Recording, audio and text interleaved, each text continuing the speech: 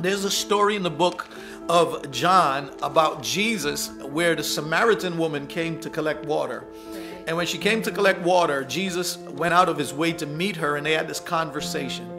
And that conversation ventured into where should you worship? The Samaritan woman was saying, We worship here and you Jews worship there.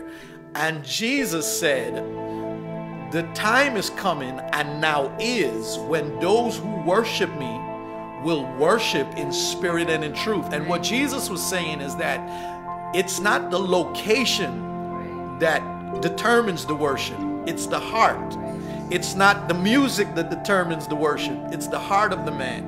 And the Bible says, this is what Jesus went on to say. He said, and the Father is looking for those who will worship.